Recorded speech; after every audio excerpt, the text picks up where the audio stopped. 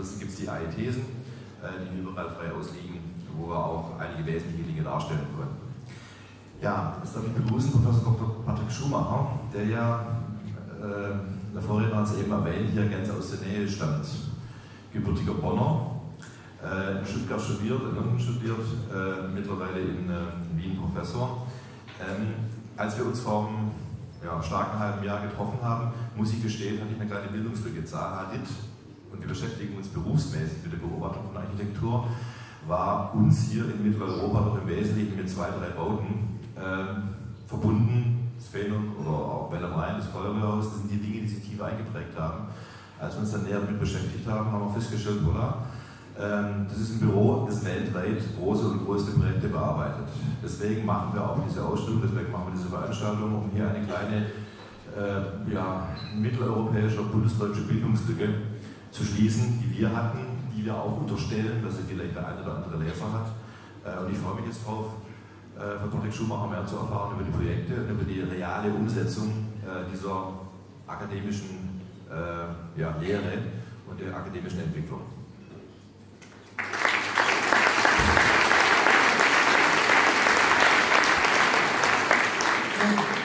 Herzlichen Dank, ich grüße Sie. Es freut mich sehr, dass wir die Chance hier haben, unsere Arbeiten zu zeigen, drüben mit der Ausstellung, aber auch hier in so einem Forum vor so vielen Leuten äh, Thesen formulieren zu dürfen und Bilder zu zeigen. Auch danke an Hannes für die Einführung. Es ist entscheidend und wichtig für uns auch äh, zu erwähnen, dass wir seit vielen Jahren Arbeiten entwickeln, immer in der Dialektik mit Studenten zusammenzuarbeiten an verschiedenen Hochschulen äh, mit denen, die dann auch bei uns auf dem Büro weiter mit uns arbeiten an ähnlichen Themen. Und das ist, glaube ich, sehr wichtig, weil wir äh, jetzt gerade immer noch vielleicht in einer Avantgarde-Phase stecken und gerade heraus aus dieser Avantgarde-Phase äh, in einen Mainstream drücken und äh, unser Büro auch wächst, auch dadurch wächst, dass Studenten sozusagen uns zuströmen und mitarbeiten. Ich habe mit Saadid angefangen, oder bei Saadid bin ich eingestiegen, auch als Student damals, äh, 1987, da waren wir vier Leute und im letzten Jahr sind wir bis auf 400 angewachsen, mit wirklich äh, mit Projekten weltweit. Das sind nur äh, Skizzen, ein paar Skizzen von, der, von den Türmen und Hochhäusern, die wir anskizziert haben in verschiedenen Teilen der Welt. Das ist natürlich nur eine Sparte, mit der wir uns beschäftigen und das ist auch die Sparte, mit die, die wir erst zuletzt eigentlich angegangen sind, weil wir arbeiten seit langem und Saadi insbesondere an dem Versuch, äh, Architektur mit Komplexität anzureichern. Äh, dass wir es schaffen, Architektur in die Lage zu versetzen, eine erhöhte gesellschaftliche Komplexität und Kommunikationsdichte umzusetzen in Morphologien und Architekturen, die so angereichert sind mit Informationen und Komplexitäten, man das natürlich trotzdem darin wiederfindet und der Turm, das Hochhaus hat sich dem am längsten noch widersetzt. In der horizontalen Ausbreitung kann man viel mehr interagieren, äh, überlagern und durchdringen. Und trotzdem haben wir es versucht, äh, seit eben 2000, seit dem, äh, dieser reizvollen Aufgabe in New York, ähm, äh, das World Trade Center neu zu denken, haben wir uns damit beschäftigt.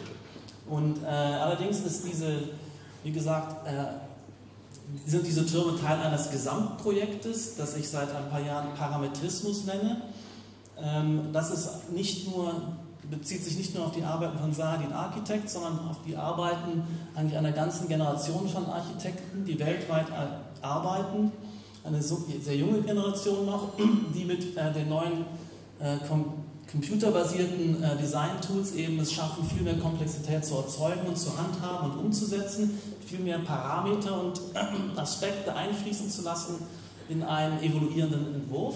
Dazu gibt es auch eine Serie von Texten, vor allem da, wenn es jetzt darum geht, aus dieser Versuchsphase, die jetzt schon über zehn Jahre lang läuft, Anspruch zu erheben, in der Umsetzung, auch im Städtebau, in größeren Projekten, in kommerziellen Projekten, nicht nur in sozusagen äh, kulturellen Sonderbauten, sondern wirklich den Anspruch zu formulieren, dass mit diesem Repertoire, mit diesen Denkweisen und Herangehensweisen ein, ähm, eine Expertise erzeugt wird, die wirklich Global Best Practice sein kann und sich auf alle Bereiche, Typologien und Aufgabenstellungen der Architektur und der gebauten Umwelt äh, beziehen. Und dafür dann eben auch theoretisch argumentiert werden muss in Texten, die in theoretischen Organen wie äh, AD von mir formuliert werden. Zum Beispiel hier vor ein paar Jahren den, diesen Aufsatz über Parametrismus als äh, neue globale Stil für Architektur und Städtebau.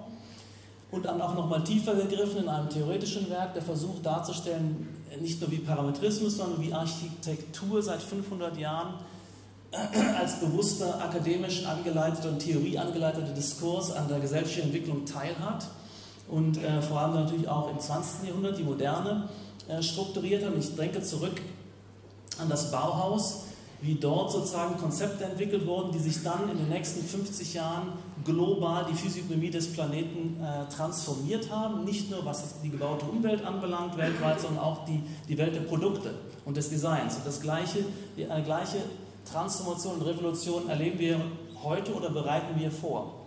Und in, im ersten Band äh, geht es hauptsächlich um die, äh, eine Diskursanalyse der Disziplin und Profession der Architektur, wie sind die Kategorien zurechtgelegt, wie, wie werten, denken und argumentieren wir? Und in welchen, in welchen Methoden arbeiten wir tatsächlich in den letzten Jahren. Und im zweiten Schritt dann noch der Versuch äh, anzudeuten, wie wir uns weiterentwickeln müssen als Diskurs und uns weiter aufzurüsten, um wirklich für die nächste Gesellschaft oder die im Umbruch bestehende Gesellschaft, die ich postfordistische Netzwerkgesellschaft nenne, die Architektur sozusagen aufrüsten dafür äh, im letzten Band, im, im, letzten Kapitel von Band 2 eben dann auch nochmal der Bezug auf den Parametrismus als den neuen epochalen Stil nach dem Modernismus.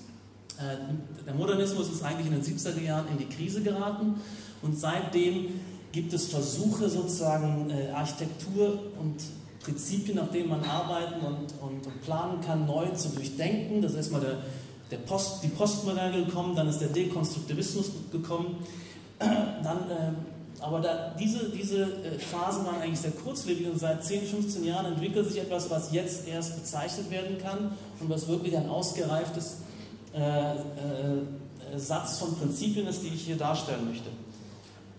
Was ist Parametrismus? Die essentielle äh, oder begriffliche Definition ist einfach die, dass alle Elemente der Architektur parametrisch variabel werden.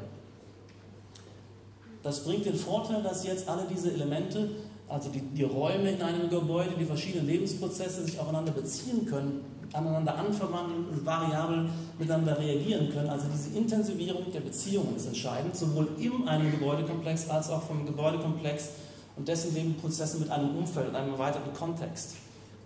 Ähm, das bedeutet, das ist möglich geworden eigentlich mit einem, ich möchte sagen, ontologischen äh, Verschiebung in den absoluten Basisbegriffen und geometrischen Grundbausteinen, mit denen überhaupt Architektur äh, komponiert wird. Also seit 5000 Jahren und vor allem auch in die Moderne hinein, das ist ein Diagramm von Le Corbusier, ist Komposition immer das, eine Zusammensetzung aus diesen Grundbausteinen, diesen platonischen, idealen, geometrischen Grundkörpern gewesen. Nicht? Das ist äh, die gesamte klassische Architektur, aber auch die moderne.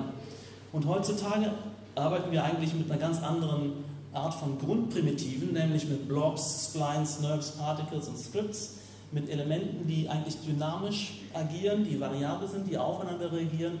Und das fing eigentlich in der Avantgarde in, in, in, an den Universitäten schon 1900, Anfang der 90er Jahre statt. Diese Bilder sind von 1993, wo wir zum Beispiel in der Columbia University eine Studie entwickelt haben mit Studenten, um hier eine komplexe, elastische, dynamische Stadttextur aufzubauen. Und hier, ich habe gerade auch jemanden hier noch kennengelernt, der bei uns damals mitgearbeitet hat und jetzt hier in Köln Architekt ist. Also das hat sich schon eine ganze Weile angemahnt und seit dem Jahr 2000 eigentlich ist das richtig in die Gänge gekommen mit, mit äh, neuen Techniken. Und äh, anstatt jetzt wie traditionell äh, seit Hunderten und vielleicht äh, Jahren man äh, als Architekt einfach Linien mit dem Lineal oder mit dem Zirkel tot auf das Blatt zieht, arbeiten wir jetzt sozusagen mit diesen Linienkonfigurationen mit dynamischen Systemen, die sich selbst organisieren, nach Regeln, nach künstlichen Gesetzen, die wir schreiben, die wir skripten und kriegen einen viel höheren äh, Ordnungsgrad und Komplexitätsgrad in, in solche Systeme und haben natürlich eine enorme Vielfalt von Serien, die entwickeln und immer wieder mit neuen äh, Kraftfeldern und Gesetzen und Eigenschaften, die wir einprogrammieren in die Linien, konfigurieren wir und erzeugen wir solche Strukturen. Das läuft mit der Linie und in der gebauten Umsetzung dann sieht das dann vielleicht so aus. Man kann auch über die Fläche ähnlich reden, anstatt einfach flache Bretter Ebenen äh, zu entwickeln, die einfach stumpf alles auf sich nehmen und äh, wo sich nichts abbildet und nichts, äh, keine Information angesammelt wird, arbeiten wir mit Flächen, die sozusagen eine Eigenlogik entwickeln, die Strukturen entwickeln, die Funktionen aufnehmen können, die aber auch auf Einflüsse reagieren können, widerspiegeln können, anstatt dieser blinden, flachen Ebenen. Und das ergibt dann erstmal im Versuchsstadium solche Landschaften äh, oder auch solche äh, Räume, die dann sehr, sehr viel in sich aufnehmen können an, an Elementen, an Informationen, an Funktionen und doch eine Kohärenz und ein Gesamtbild erhalten und erzeugen. Ähnlich auch mit Volumen, mit diesen Blobs und Metabols, die miteinander verschmelzen, die miteinander umgehen und einfach wie in der Natur äh, über Gesetze äh, Konfigurationen erzeugen. Das ergibt dann in der Umsetzung äh, solche Gebilde.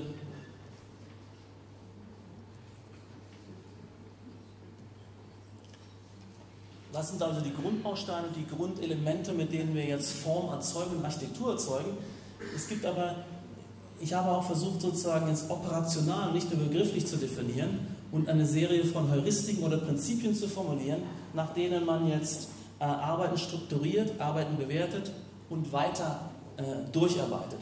Und diese Prinzipien sind nicht nur formaler Natur, also ein Stil, eine neue Stilepoche, kann sich nicht nur auf ein neues Formenrepertoire beziehen, sondern muss gleichzeitig auch eine neue Attitüde entwickeln, wie man mit Funktionen, Programmen, Lebensprozessen umzugehen hat. Wie interpretiert man Funktionen und Programm und wie geht man damit um und setzt das um in räumliche Strukturen.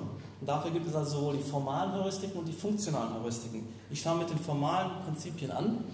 Die formalen Prinzipien des Parametrismus äh, sind aber zuerst auch mal negativ zu formulieren, was man nicht mehr macht und weshalb man es nicht mehr macht. Also wenn man ein Forschungsprojekt, ein Entwurfsforschungsprojekt hat und eine Hypothese hat, wie man arbeiten soll, muss man auch gleichzeitig verhindern, dass man in alte Arbeitsweisen und Denkweisen zurückfällt. Die muss man wirklich erstmal scharf abtrennen, um dann wirklich das, die, die neuen Strukturen, die neuen Ansätze äh, sich selbst zum Tragen zu bringen. Also negativ erstmal eben nicht mehr diese rigiden Formen, diese stummen, äh, immer statischen, immer gleichen Formen, weil sie einfach die Komplexität vermissen lassen. Äh, die lassen wir hinter uns. Äh, ein weiteres wesentliches Prinzip der äh, klassischen und der modernen Architektur ist das Prinzip der Wiederholung, der Repetition. Und das kann auch kein Bild der äh, gegenwärtigen Gesellschaft mehr sein. Äh, von dem sind auch, ähm, ist das Publikum auch ja auch weggelaufen. Da gibt es einfach nicht genügend Varietät und Diversifizierung und deshalb muss das auch unterbunden werden. Also wir erlauben uns keine Repetition mehr. Ein drittes ist auch zu verhindern. Also die Moderne mit den Prinzipien der, äh, dieser Grundkörper und der Repetition und der Funktionstrennung ist sozusagen in die Krise geraten.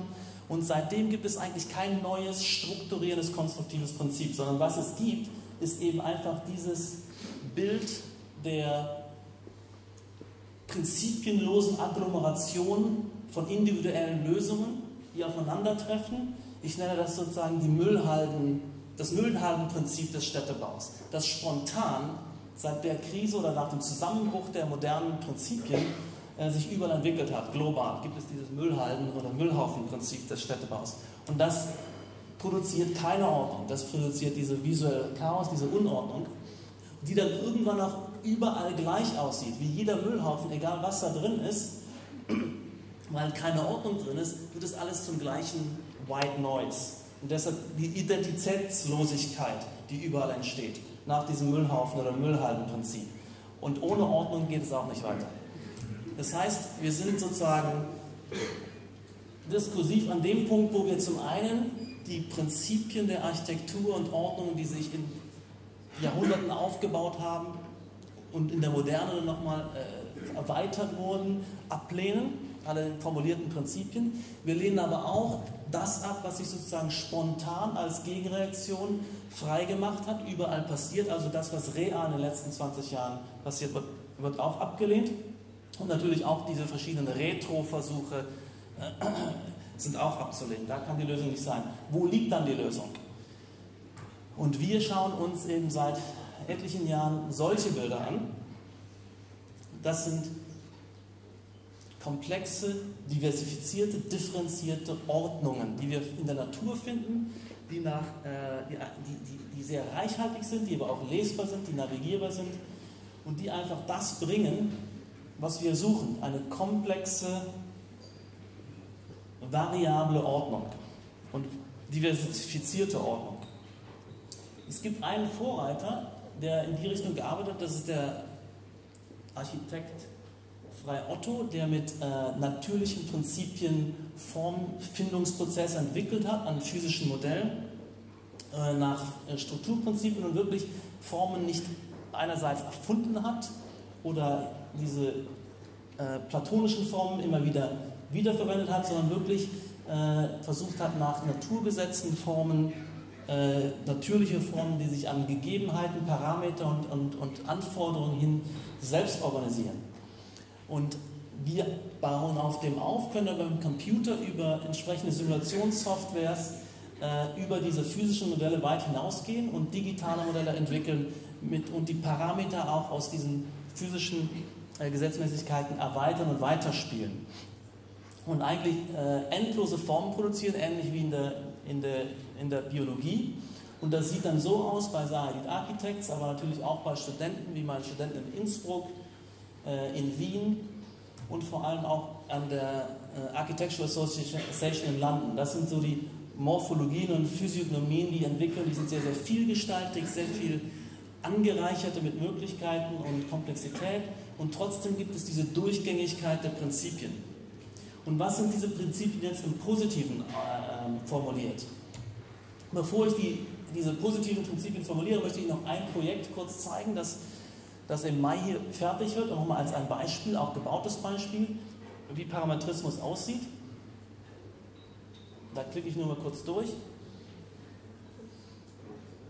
Das ist ein großer Kultur, ein Kulturzentrum in Aserbaidschan, Baku, mit verschiedenen Programmbereichen. Das ist eine Bibliothek, ein Museum, ein Konferenzzentrum, eine Musikhalle, äh, auch mit äh, dem Anspruch, eben eine sehr, sehr Verdichtung verschiedener kultureller Ereignisse, mit sehr viel äh, Vernetzung von Kommunikationsereignissen. Denn ich sage, Architektur äh, bei Architektur geht es eigentlich immer um die Intensivierung und Rahmen von gesellschaftlicher Kommunikation. Heutzutage in der postpolitischen Netzwerkgesellschaft muss man sehr, sehr viel mehr äh, Kommunikationsangebote tagtäglich wahrnehmen, man muss jeden Tag sich neu vernetzen, neu hinterfragen, äh, woran man arbeitet und weiterarbeitet. Und dafür brauchen wir solche verdichteten, äh, komplexen Gebilde, die dann über äh, diese Stilmittel, die wir entwickelt haben, eigentlich wieder geordnet werden und so wieder, wieder erkennbaren und navigierbaren ähm, Umgebungen werden.